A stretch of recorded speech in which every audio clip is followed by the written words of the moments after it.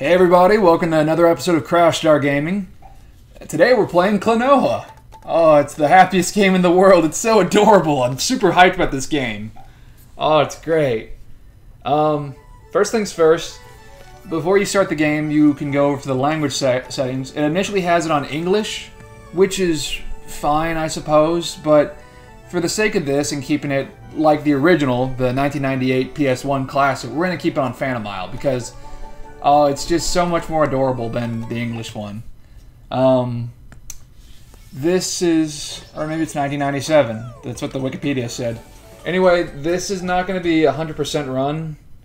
Um, but then again, I said that with the Jak and Daxter one, and I was somewhat accurate, I guess. But uh, I'm going to try to get as many collectibles as I can, but that's not going to be the main point of this LP. It's mainly just to be kind of me gawking over how adorable this game is, because I have not actually... This is actually the first time I've played this in a long while, so... And I didn't even get that far when I first played it, so let's just kick it off.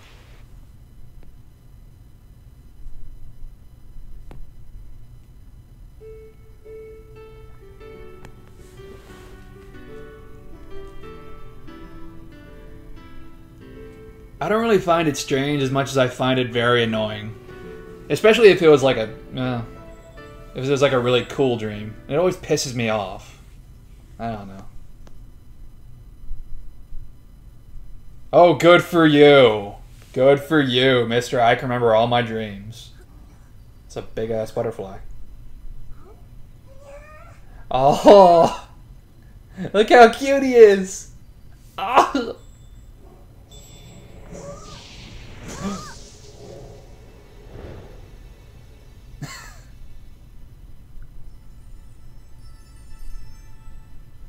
Oh shit, it's a ring from Sonic. Look, he's got Pac-Man on his hat. Ah. Oh, it's so cute.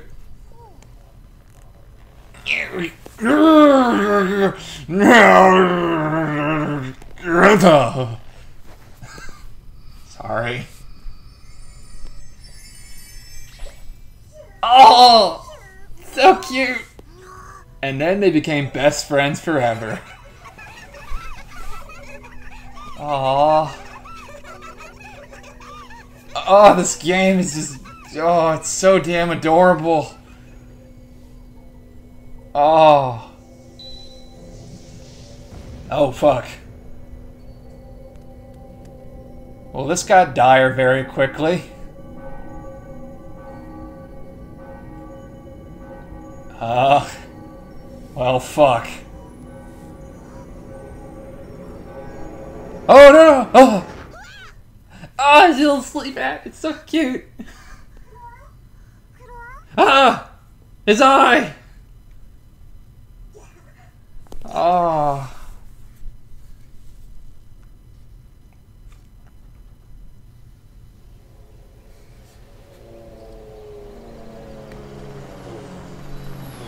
Oh fuck, get somebody get in my way! Who put this mountain here? Well, that person's fucked.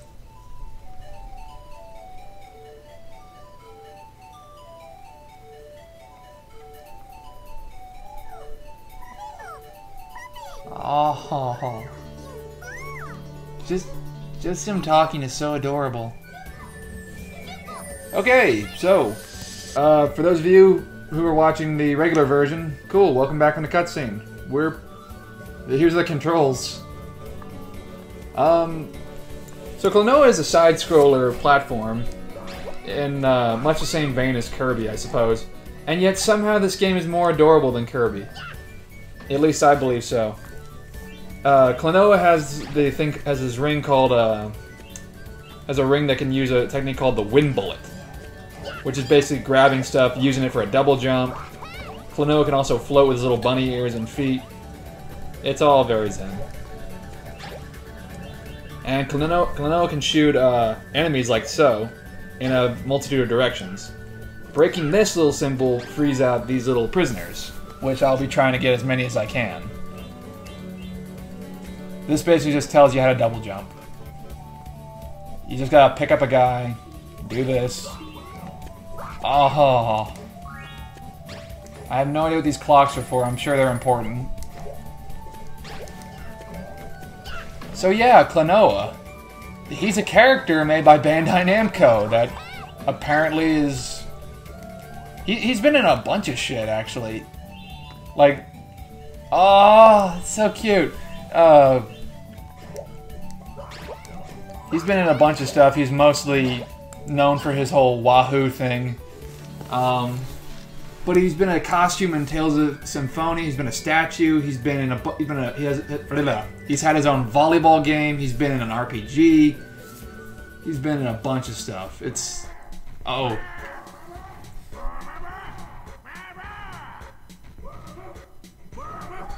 Ah, uh, okay. Who are you? Where are you from? Where are you? Oh, look at that guy! Oh my god.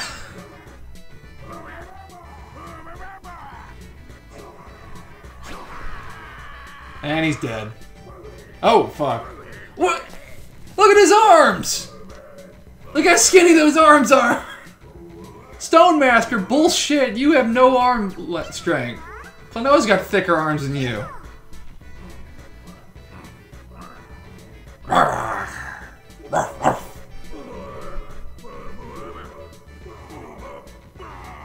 Oh, even with a mustache, these things are adorable.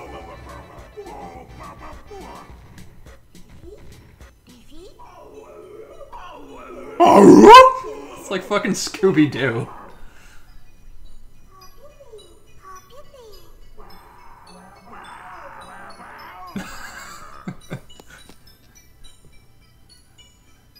It's like an angry little dog.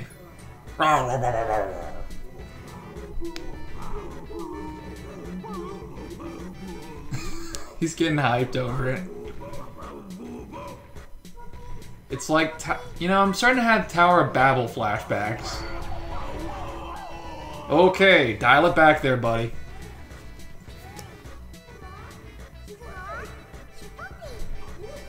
Yeah, let's leave this freakazoid.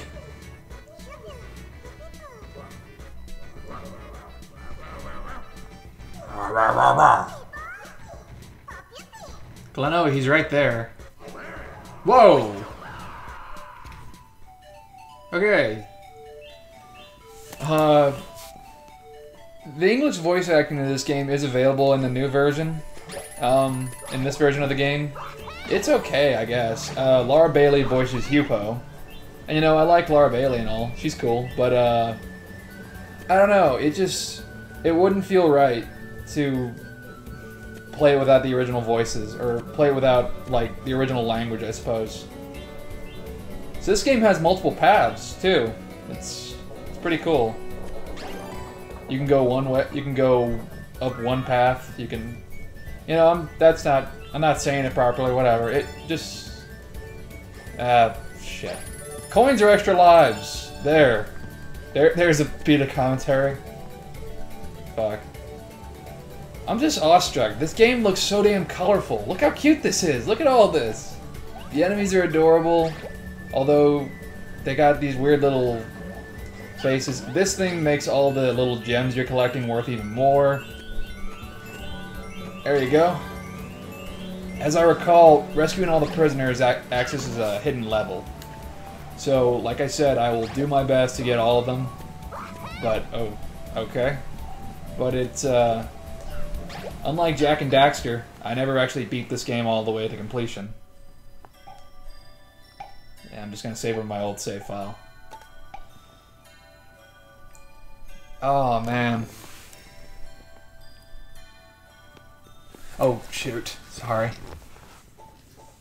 So yeah, we got all six. And look, they form a little band! Oh, so cute! And he has to do a little pose, too. Oh, man. So yeah, Klonoa is like I guess he's like one of band or one of Namco's bigger characters because he. I think uh, they had DLC for the Soul Calibur games with a costume for him. I want to say they did at least. That seems like a thing they do. They did it for Tekken. Uh, besides this, he has a sequel called Klonoa 2, uh, Lunatea's Veil. Lunatea's Veil, I believe it's what it's called, for the PS2, which is worth a fucking fortune nowadays, at least on Amazon, I could think. This game is about, I don't know, it's about six years old or so, and this thing ran for about 40 bucks on eBay. So it wasn't that bad of a deal, I suppose, but getting a new copy is, I don't know, it's one of the easier games to get, I suppose. You know, everybody says that Kirby is like is a super easy game for babies and stuff. I find, but it's also super cute. I find this is like a happy medium. This is a, it's a nice little side scroller. It's not too easy, but it's also highly, highly adorable. But I believe, as we'll soon see, or as we already saw, this game also has its can have its dark moments, or at least attempt to.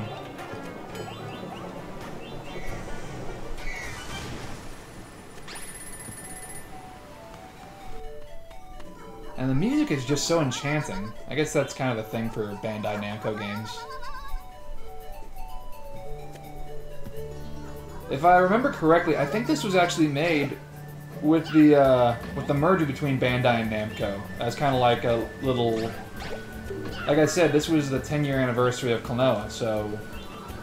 I figured, yeah, the Wii is a good thing for kids and young adults. People would like this. And you know, Klonoa hasn't had his own game in a while, so sure, let's throw him, let's throw him on the same console as Mario. That'd be cool. It works for him. Oh man.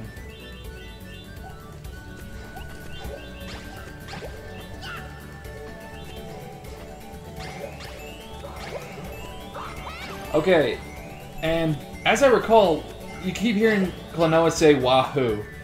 Swear, hand to God, in the case for this game, there is. I'm assuming it's expired by now, but there's like a coupon for a place called like Wahoo Tacos. I'm not even kidding. It's like a thing called Wahoo's. oh man, I'm sure it's well past like expired now, but it's it, it's still pretty. It's still pretty cute, I guess. Um, yeah, on the wiki they have uh, a Klonoa to English like dictionary thing that kind of translates all of Klonoa's Phantomile words to English. And saying Wahoo is basically an affirmation. It's basically like, yeah! Or okay, or alright! Something like that. I did not read the entire dictionary. Um, it's on the wiki. It's just an adorable language that makes even some of the more... It just makes everything even more adorable than it already is.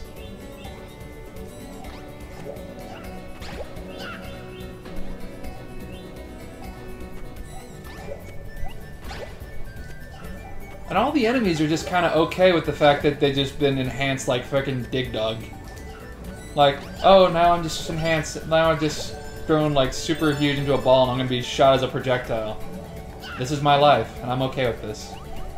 This basically says just shoot an enemy at this target, and do this, and there you go.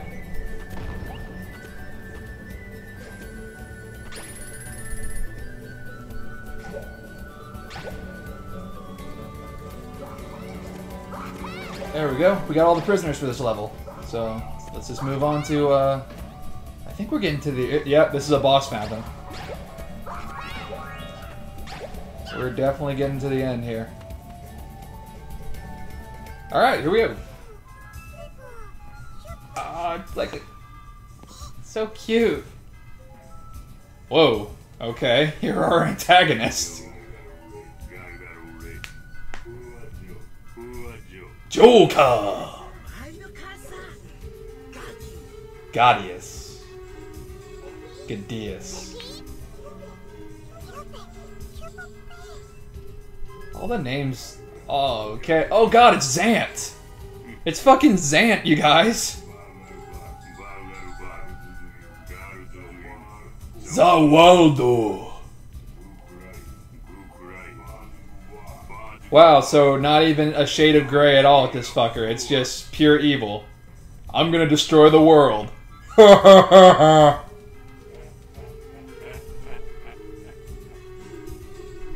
Joker's digging it.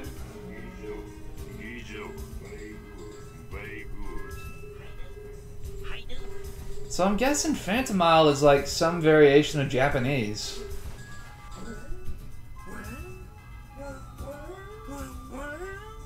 And yet he's still smiling. I wonder why, but they can fucking see you, assholes! or maybe he can't, because his fucking mask is obscuring his vision.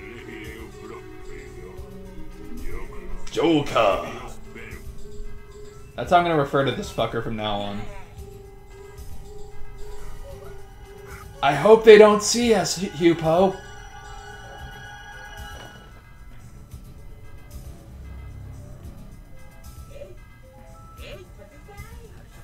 Where are you? I can't see you. The fuck? Oh, there you are. How did I not see you?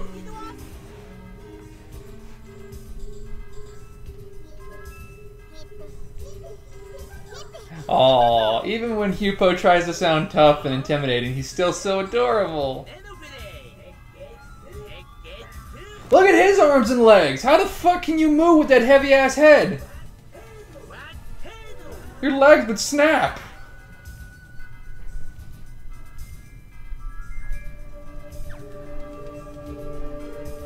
I choose you, giant nose chameleon thing. Showtime! Showtime. Watch out for your obvious weak point. Yeah, Joker, little uh little tip. Don't tell your enemies what the weaknesses of your monster is. It's kind of a bad idea. So, Rongo Lango. Oh, the names are even adorable.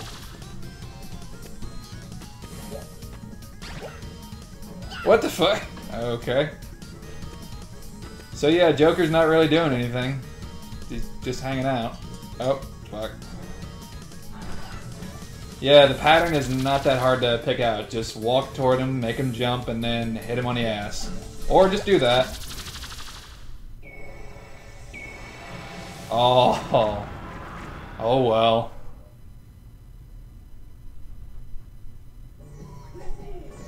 No! How could you defeat my invincible monster? Okay, see you later, fuckers. Like, what the... How is that in there?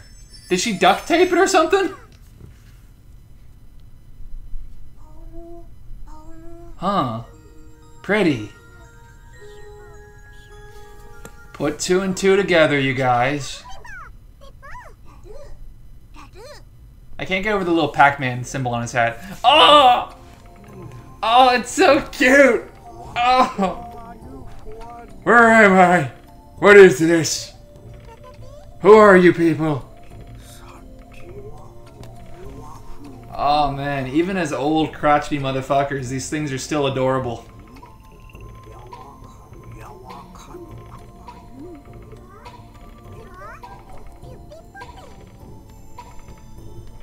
Who are you? Why are you in my house? Why is there a floating blueberry in front of me? I can't see anything.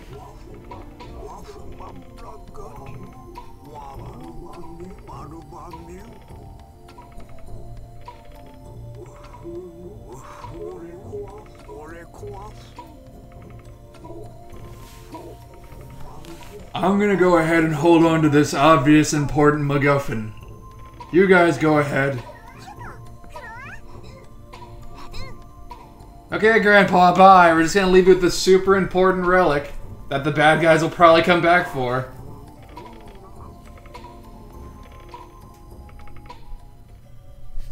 Yay! So now we're done with Vision 1. And Vision 1 too. Alright. And we got all the prisoners. Cool. So, in the next episode of Crash Star Gaming, we will tackle on Vision 2 1. Alright, I think that will do it for another this episode. Thank you for watching. See ya.